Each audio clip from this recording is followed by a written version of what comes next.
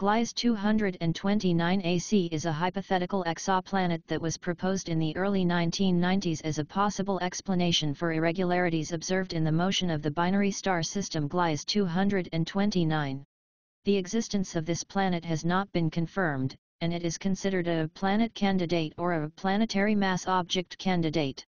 The binary system Gliese 229 consists of two red dwarf stars that are separated by a distance of about 7.4 astronomical units, O, with an orbital period of about 50 years.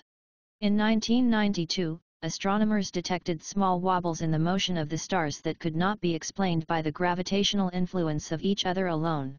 They proposed that the wobbles could be caused by the presence of a planet or a brown dwarf in orbit around one of the stars.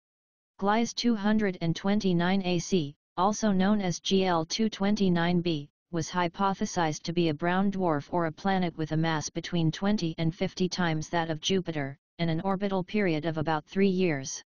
It was thought to be located at a distance of about 2.20 from its host star. Subsequent observations have failed to confirm the existence of Gliese 229 AC, and it is now believed that the irregularities in the motion of the binary system are caused by a combination of magnetic activity and gravitational interactions between the stars themselves.